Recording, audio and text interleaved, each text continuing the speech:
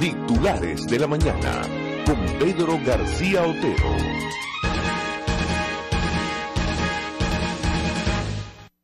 Muy buenos días, 6.24 minutos del 28 de marzo de 2022. Ya se nos va el primer trimestre de este año.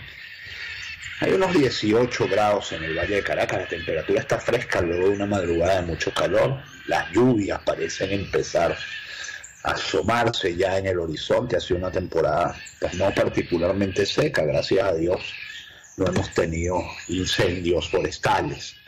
Las noticias del día, las noticias de la jornada tienen que ver más que nada con el tema económico. Y así desde este lunes entra en vigencia el impuesto, el cobro del impuesto para pago con dólares en efectivo. Mi pregunta sigue siendo, ¿Cómo van a hacer eso funcional si eh, al final del camino los precios están expresados en bolívares? Con ello buscan incentivar el pago en bolívares en las transacciones, dice esta nota en, primicias. El impuesto a las grandes transacciones financieras tendrá vigencia a partir del lunes 28 de marzo y se, hará, se aplicará a las personas que paguen con dólares en efectivo u otras divisas en establecimientos comerciales. Por el contrario, estarán exentos los pagos móviles de cuentas en divisas, compras con tarjeta de débito o crédito de la banca venezolana. Es decir, lo que están incentivando es que haya depósitos en dólares en la banca o uso de bolívares, pues. Pero pareciera que es más que depositen dólares en la banca. No hay idea de cómo se va a facturar ese impuesto y quiénes son las personas obligadas y quiénes no obligadas, detalló Leonardo Buñac en una entrevista con el portal Descifrado. Nuevamente es lo que yo digo, o sea, al final del camino una transacción es una transacción, sencillamente es una, una unos bits, son unos bits y unos bytes, no se sabe eh, quién pagó en efectivo, quién pagó en tarjeta, etcétera. No hay idea de cómo se va a facturar este impuesto y quiénes son las personas obligadas y quiénes las no obligadas, detalló Leonardo Muniac en una entrevista con el portal Descifrado. En su opinión, la información sobre el IGTF sigue siendo sumamente ambigua. El objetivo inicial del impuesto era grabar operaciones hechas en efectivo e iba a haber una alícuota entre 2 y 20%, pero esto ya no es así. Ahora hay una tasa fija de 3% que teóricamente iba a afectar las transacciones en moneda extranjera, explicó Buniac. Entre tanto, las empresas privadas han comenzado a, notificar a sus clientes sobre este nuevo impuesto de 3% sobre sus servicios. Aquí pueden leer mejor, en efecto ya le entra en vigencia el IGTF, comenzará, comenzará a surtir efectos en el sector comercial venezolano que ajustará sus tarifas de recaudación para, ver, para no verse afectado directamente. Hasta ahora el impuesto solo se cobrará a las personas que paguen con divisas en efectivo en cualquier comercio. La intención es incentivar el uso del bolívar, ya que, ya, que de hacerlo no es necesario pagar el impuesto. No pagarán el IGTF las personas naturales que hayan depositado sus dólares en cuentas en divisas, pero de la banca venezolana. Otra información que tiene que ver con el tema económico es que el Banco Central ha anunciado que emitirá títulos de cobertura indexados para absorber liquidez y bajar la demanda de divisas. Vuelve, después de muchos años, el Banco Central al mercado financiero del país. Esto es una nota de banca y negocios. El Banco Central de Venezuela retomará a partir del lunes del 28 de, marzo, 28 de marzo próximo las operaciones de, de absorción de liquidez a través de la oferta de títulos de cobertura los cuales estarán dirigidos a las instituciones bancarias, personas naturales y a las personas jurídicas privadas, estos dos últimos a través de los bancos en los que mantienen cuentas abiertas. Con estas operaciones de mercado abierto, la autoridad monetaria complementa su estrategia de control de la liquidez monetaria con el fin de mantener controlada la evolución de la inflación y los movimientos del tipo de cambio en las mesas cambiarias de la banca, al incidir en la demanda de divisas mediante una mayor captación de bolívares en circulación. Los títulos de cobertura destinados a las personas naturales y jurídicas privadas son denominados en moneda nacional y el monto mínimo de cotización es a partir de 50 mil con incrementos de 5 mil, es decir, son casi 12 mil dólares, vale decir, no están a la mano de cualquiera.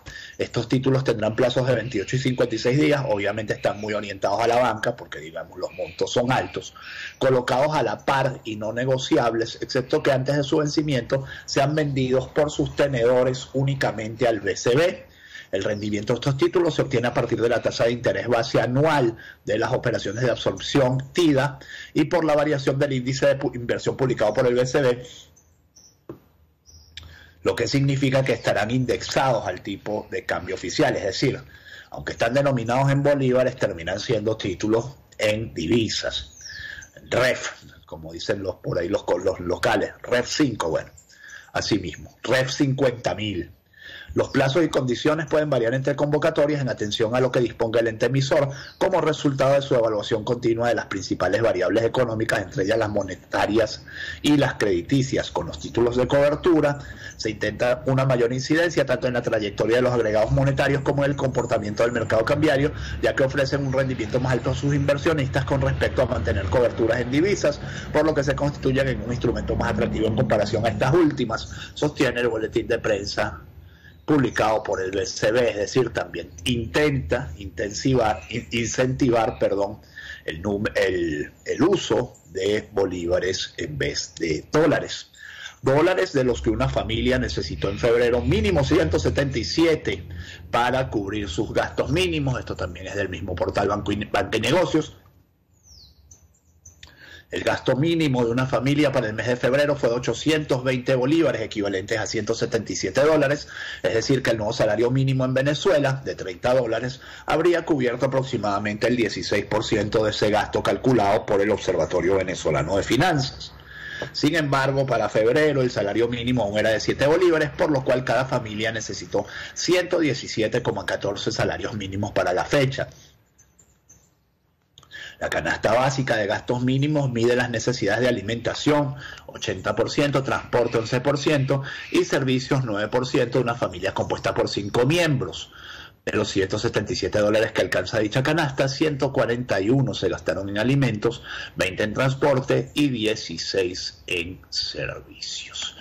Para cerrar el tema de la economía, hay una nueva manera también de pagar la gasolina subsidiada, cada vez se la ponen más complicada a la gente, yo creo que al final del camino para eso se dejan de tanta de tanto disimulo pues y terminan de eliminar ya la gasolina subsidiada y que pase lo que tenga que pasar, pues el sistema Patria eliminó pago en bolívares en efectivo de gasolina subsidiada, usarán biopago PDB de acuerdo con la información publicada en el blog Patria, esta medida que entrará en vigencia el próximo 2 de abril se toma con el objetivo de simplificar el pago de combustible. Y la verdad de las cosas es que si lo hacen para simplificar, este, bueno, es como cuando dejaron de aceptar bolívares en el metro, ¿no? Supuestamente para simplificar y han enredado muchísimo más la cosa. La gente ayer estaba preguntando cómo era esto y yo les confieso, después de leerlo 10 veces, que todavía no lo entiendo.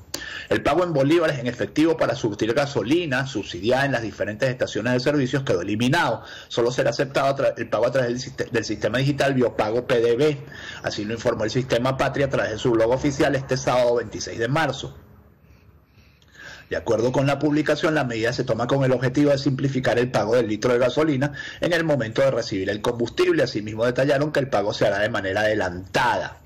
En este sentido, se eliminará el pago en bolívares y quedará únicamente el pago de litros de la plataforma Patria a través del sistema Biopago PDB. Este pago en bolívares, que actualmente es de 0,11 por litro, se realizará a partir del 2 de abril de 2022 de manera adelantada en el momento de recibir la asignación de gasolina subsidiada, se lee en el portal Patria. Asimismo, informaron que todos los usuarios que estén registrados en la plataforma deberán tener en cualquiera de los monederos de Patria el monto requerido para surtir gasolina, es decir, para 120 litros, el, equivalente a 13,2 bolívares, según tasas vigentes a la fecha de la publicación de esta nota. yo no sé cómo se deposita dinero en Patria. Por ejemplo, a los usuarios de la plataforma Patria se les hará un adelanto de saldo en su monedero digital para que puedan realizar el pago cuando les corresponda hacer la recarga de combustible. Aparentemente la impresión que yo tengo, pero seguramente me corregirán, es que el primer pago el primer mes lo paga pues PDVSA. Entonces, si usted no tiene dinero en la plataforma Patria, el primer mes le ponen los 13,2 bolívares para que usted tenga para sus 120 litros. Después no sé qué pasará. ¿Será que la gente se inscribirá en los bonos? ¿Será que en Patria uno puede depositarse dinero, hacerse un adelanto efectivo? Yo la verdad, como les digo, no entendí este tema que seguramente va a traer cola y va a traer eh, más, que, más de un resquemor, porque ciertamente cada vez lo ponen más difícil. Noticias de la diáspora, fallecen una venezolana y un bebé boliviano al cruzar por la frontera de Chile. Imagínense ustedes una mujer de 78 años, 78 años. ¿Cuán grande tiene que ser tu desespero para que a los 78 años tú te pongas a caminar por un altiplano, por la frontera norte con Bolivia? Una mujer de 78 años y un bebé de solo 6 meses fallecieron este fin de semana mientras trataban de ingresar a Chile por la inhóspita frontera norte con Bolivia, donde se vive desde hace un año una crisis migratoria y humanitaria. La mujer de 78 años y nacionalidad venezolana falleció la noche del sábado 26 de marzo mientras personal sanitario le atendía en una zona fronteriza de la comuna de Colchane, a casi 2.000 metros del norte de la capital, 2.000 kilómetros al norte de la capital, luego de que sus familiares le alerta, alertaron que se encontraba mal. La segunda víctima es un bebé de seis meses de nacionalidad boliviana que falleció en otra zona de Colchane tras cruzar con su familia el agreste altiplano. La menor fue trasladada por su madre a la posta, lugar en la cual la facultativa de turno constató la defunción de la lactante, explicando que mantenía antecedentes médicos por hidrocefalia explicaron este domingo 27 de marzo las autoridades militares de la zona. El norte de Chile lleva un año sumido en una fuerte crisis migratoria con la llegada masiva de personas por pasos clandestinos, la mayoría de nacionalidad venezolana, el colapso de pequeñas localidades fronterizas, la celebración de marchas contra la migración y ataques xenófobos. Empezamos con un bloque sobre la guerra de Rusia, la guerra de Ucrania, la guerra de Rusia contra Ucrania. Desde aquí les mandamos saludos. Esto es Titulares de la Mañana, RCR 750M. Volveremos a hacer 750M cuando regrese la democracia a nuestro hermoso país. Jaime Nestares en la dirección de la estación. Néstor Tobar nos acompaña en los controles. Quien les habla, Pedro García, hacemos, hacemos este programa que llega a ustedes como cortesía publicitaria de Tecno Hospitalaria Innovamos para servirle del consultorio veterinario del doctor Alfredo Cova, garantía integral para el bienestar de su mascota. Ayer o anteayer se anunció la muerte del séptimo general ruso en la guerra de Ucrania una conversación grabada por los servicios de inteligencia de Estados Unidos identificó al general de brigada Yakov Rezantsev, comandante del 49 Ejército Combinado de Rusia, hablando con otro militar en estos términos. Esta guerra se ganará en unas horas. Ayer fue abatido por las tropas ucranianas en un nuevo golpe de mano en el aeropuerto de Gerson a las, a las Fuerzas Armadas rusas. Ya son siete los generales alcanzados y 20 coroneles, bien por francotiradores o bien por drones que se ha cobrado el ejército de Kiev. Y esto para el, para el ejército ruso es una desgracia, que le maten siete generales. ¿Saben lo que cuesta formar un general? ¿Saben lo que significa para la moral de las tropas decir te matamos al general? ¿Saben el nivel de infiltración y el nivel de conocimiento de dónde viajan los generales, de dónde se mueven los generales, de quiénes son los generales, para que los puedan asesinar así? Este fin de semana se hablaba de la retirada del ejército ruso de la mayoría de las zonas donde estaban, eh, digamos, ya apostados y aparentemente ahora se limitarán al Donbass y a la región de Lugansk, que quieren, eh, Donetsk, que quieren anexarse a Rusia, o donde quieren establecer repúblicas títeres. Uno no sabe si realmente es porque los rusos están perdiendo la guerra, que es lo que pareciera, ciertamente, uno no sabe si desde el principio Rusia se planteó un ataque punitivo que destrozara a Ucrania para luego, pues, sencillamente por la negociación, bajar sus objetivos a lo que realmente querían. La guerra es muy rara y es muy cruel. Y podrían ser ambas cosas. Podría ser que Rusia esté perdiendo la guerra y pudiera ser también que desde un principio esos fueran sus objetivos, pero que, trataran de morder mucho más allá porque si les iba bien, les iba bien y si les iba mal, por lo menos se conseguían esos primeros dos objetivos que era lo que tenían, digamos, calculados desde un principio. Pero lo cierto es que la guerra no ha sido favorable para Rusia y este señor Rezancev, eh, que ciertamente eh, y aparentemente dijo que la guerra iba a ser un paseo, pues se ha convertido en una víctima del paseo que iba a dar por tierras ucranianas. En ninguna guerra desde la Segunda Guerra Mundial, dice esta nota de la patilla que se toma del mundo, se producido un hecho semejante que los generales enemigos se acerquen tanto al frente hasta resultar tan vulnerables como los propios soldados. La explicación lo ofrece no solo el altísimo número de bajas rusas de estos días, sino el nerviosismo que esto provoca. Fuentes de inteligencia occidentales aseguran que la impaciencia del Kremlin por conseguir resultados militares rápidos y la sensación de bajísima moral por parte de los militares rusos ha empujado a los generales a dirigir su tropa desde las mismas trincheras.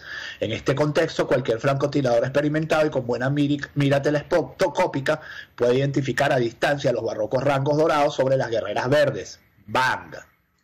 Dice la nota del mundo y esto también a mí me suena un poco extraño porque por ejemplo eh, una de las cosas que se hace en toda guerra es que no sean muy distinguibles los eh, la, la, la, la, ropa de, de los altos mandos no sea distinguible de la ropa de los soldados justamente por eso, para evitar eh, francotiradores, de hecho hasta las charreteras son diferentes, ¿no? En la, en la ropa de campaña, más, más difícil de, distinguir, más difíciles de distinguir. Aquí tenemos una buena experiencia, cuando ustedes ven a los militares vestidos en traje de, de campaña, sus charreteras son del mismo color verde, solo se pueden distinguir desde muy cerca.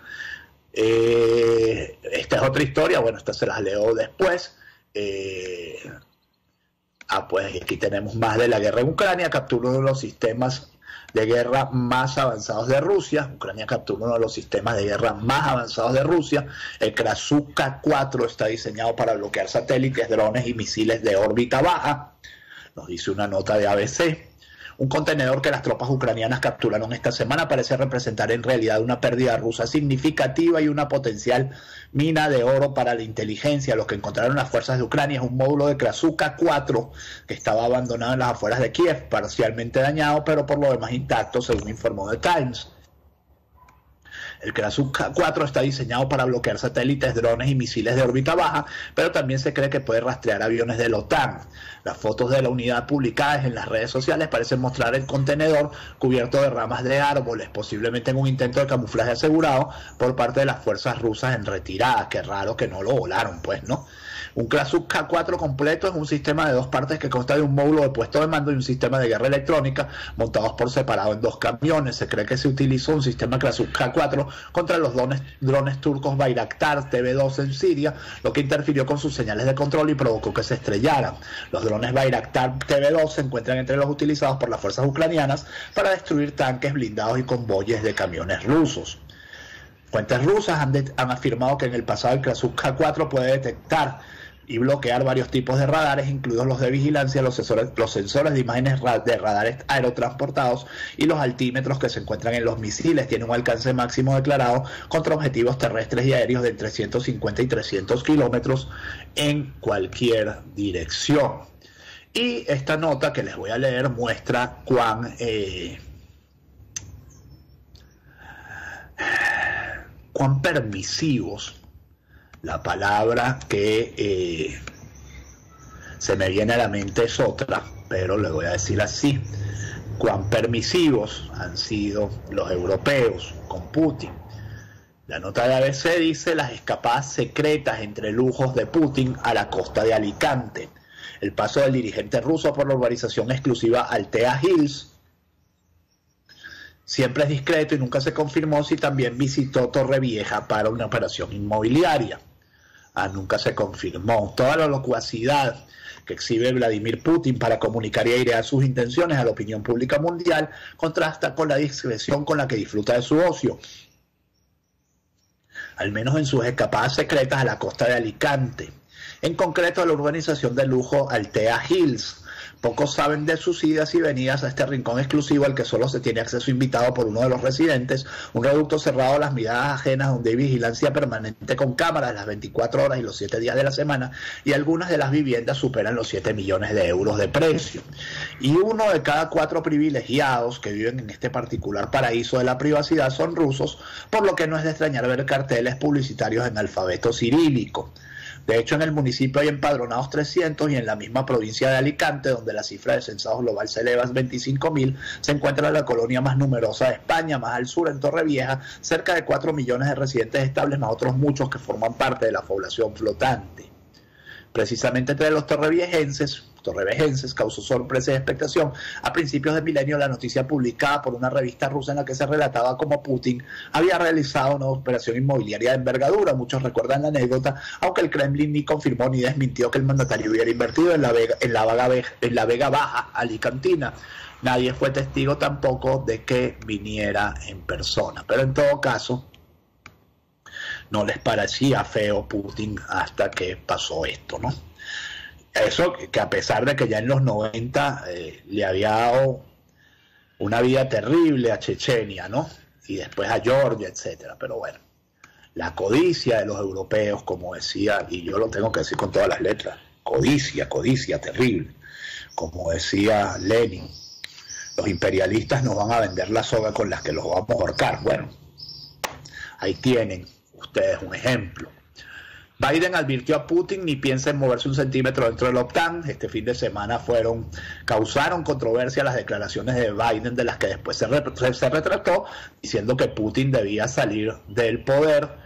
Hasta Macron, en una declaración bastante poquito miedosa, pues, ¿no? Dijo que que bueno, que no era lo mismo Biden que vivía en, eh, con un océano de distancia que los europeos que tenían que enfrentarse a Putin diariamente. Si a mí me preguntan, yo sí creo que Putin tiene que salir del poder, obviamente que sí, pero claro, yo no tengo ninguna responsabilidad de mando. A lo mejor las declaraciones de Biden fueron un poco destempladas. El presidente de Estados Unidos, Joe Biden, avisó este sábado a su homólogo ruso, Vladimir Putin, de que habrá consecuencias si sus tropas se adentran un solo centímetro dentro del territorio de la OTAN y piensa en moverse un solo centímetro dentro del territorio de la OTAN, así advirtió el mandatario en un discurso del Palacio Real de Varsovia, donde se congregaron cientos de personas. Polonia, donde se encuentra Biden, hace frontera con Ucrania, es miembro de la OTAN y teme que la guerra de Ucrania se extienda a su territorio. También hace frontera con Rusia, por supuesto. Biden afirmó que Estados Unidos tiene el deber sagrado de defender cada centímetro del territorio de la OTAN en función del artículo 5 de su tratado fundacional, que establece que un ataque en un estado de la Alianza Atlántica es un ataque en todos. El gobernante norteamericano reconoció que la guerra de Ucrania no durará ni días ni meses y pidió a Occidente que se arme de valor para un conflicto largo. En tanto, Zelensky, Volodymyr Zelensky dio una entrevista de más de una hora a cuatro periodistas rusos hablando en ruso, su lengua materna, Minutos después de publicarse en redes, el regulador ruso Roskomnadzor ha, prohibido su emisión y se ha abierto una investigación. Esto dice un tuit de este señor que firma como Principia Marsupia, pero se llama Alberto Sicilia y que eh, da muy buenos reportes de la guerra en, eh, en Ucrania. En tanto, para cerrar este bloque, el destino del, oro venezolano en Rusia es incierto debido a las sanciones que pesan sobre el Kremlin. El pasado 25 de marzo, el Banco Central de Rusia dio a conocer que sus reservas de oro se encuentran protegidas en bodegas existentes en este país, de acuerdo a información expuesta por la agencia de noticias TASS y Europa Press. En esta misma línea, la institución bancaria rusa indicó que las reservas son herramientas que le permitirán de acuerdo al exdirectivo de PDVSA y consultor estratégico Pedro Mario Ureli, la preponderancia que ha alcanzado Rusia con respecto al oro tiene mucho que ver con Venezuela. Ureli especificó que las reservas rusas han crecido con pagos en oro que hace Venezuela y según dicen por servicio de almacenaje de oro que le brindan a Nicolás Maduro. Mucho se ha dicho sobre el destino del oro venezolano que se encuentra en Rusia, ya que con las consecuencias de la guerra el, país sudamericano se ve con dificultad para mover este metal. Ureli en su cuenta de la red social Twitter destacó que Vladimir Putin no dio garantías sobre depósitos en banco, aduciendo que Rusia enfrenta la guerra económica de Occidente y habrá que asumir grandes pérdidas. No es más que un refrito de eh, las cosas que se habían venido diciendo. Dos muertos y varios heridos en un atentado en el norte de Israel. Esto fue en la ciudad de Adera. Y lamentablemente este fin de semana tuvimos que eh, enterarnos de la muerte de Taylor Hawkins, baterista de la banda Foo Fighters, quien murió aquí al lado en Bogotá en el inicio de una gira sudamericana. Bueno, Hawkins llevaba tiempo lidiando contra sus demonios y en su cadáver se encontraron marihuana, antidepresivos, tricíclicos, benzodiazepinas y opioides, entre otros. Un verdadero cóctel de medicamentos. Son las 6:49 minutos, vamos con un momento de publicidad quiero hablarles de Tecnieléctrico, de Tecnohospitalaria, perdón, porque somos el nombre propio.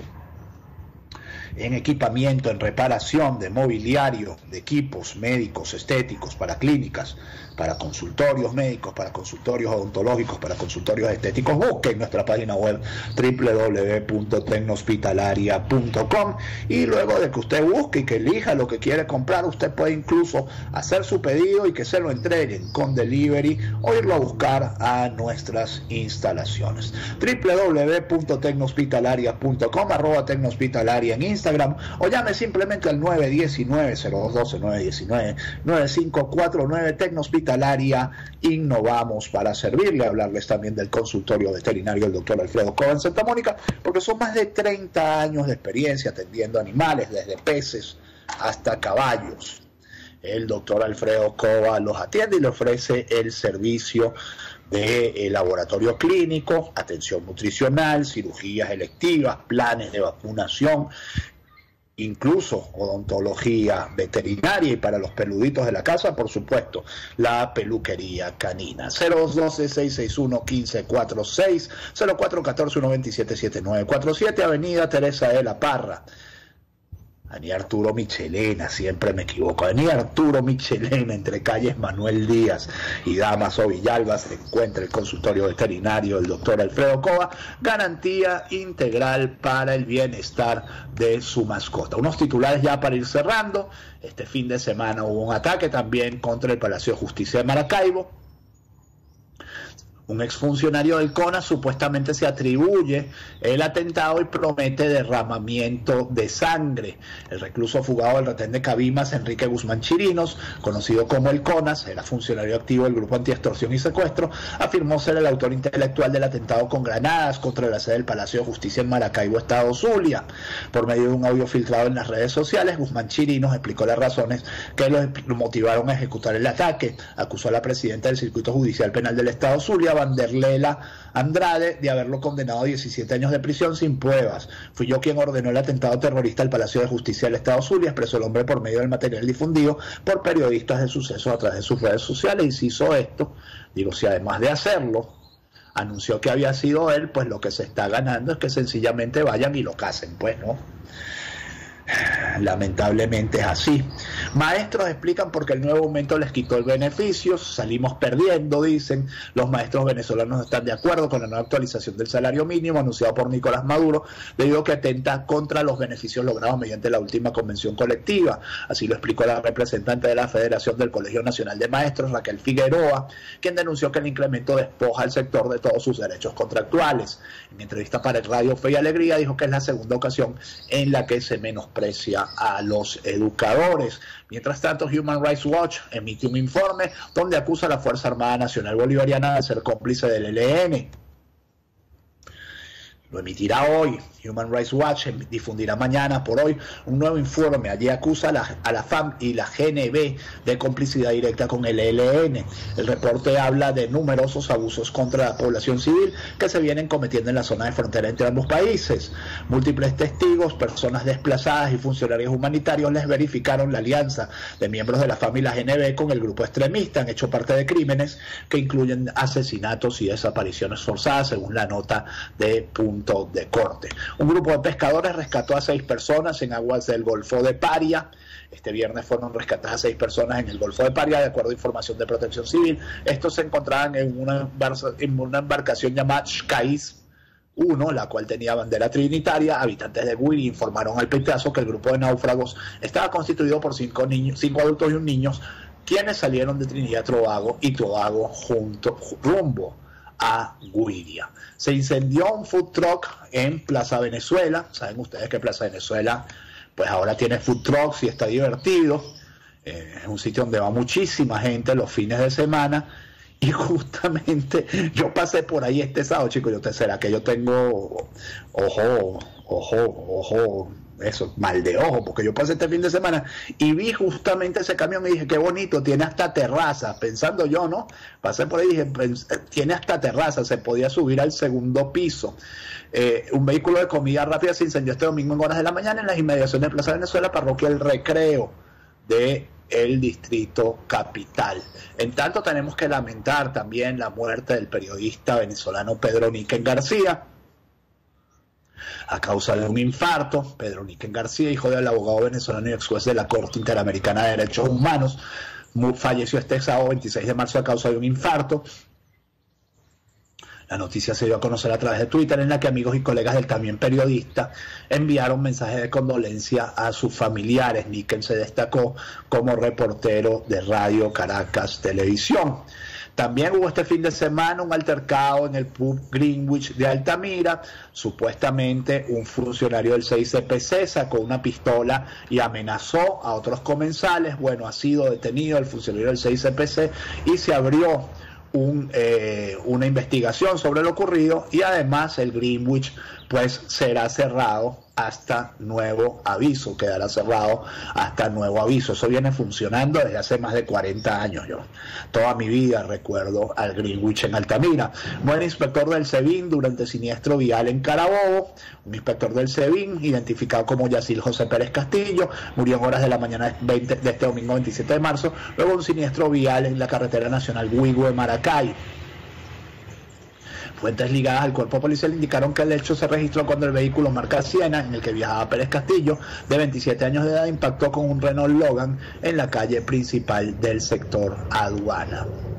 La aduana. Para cerrar dos informaciones, este año habrá Nazareno de San Pablo en Semana Santa y esto es sin duda una buena noticia. Este año no habrá recorrido en el Papamóvil, la imagen del, del santo permanecerá en el templo, pero se podrá visitar. Y para terminar, se rumora, porque no es un hecho, no está oficialmente confirmado, que Deina Castellanos, nuestra querida futbolista venezolana, se ha casado con una abogada española.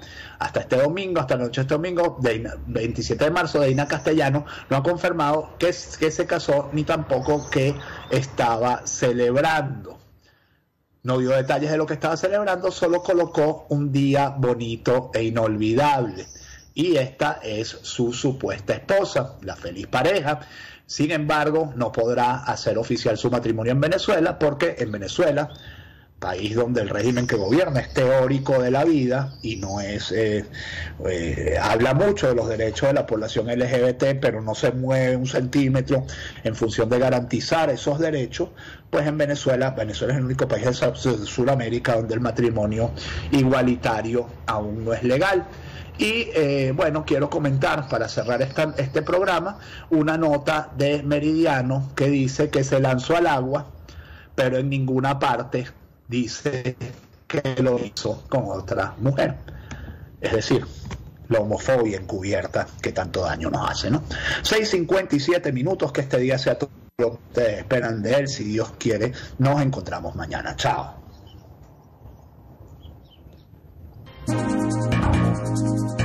Informe RCR presentó Titulares de la Mañana con Pedro García Otero. Este programa fue presentado por tecnohospitalaria.com, la calidad que da la experiencia en servicio técnico de equipos médicos y estéticos. En Santa Mónica, consultorio veterinario del doctor Alfredo Cova, garantía total para el bienestar de su mascota. RCR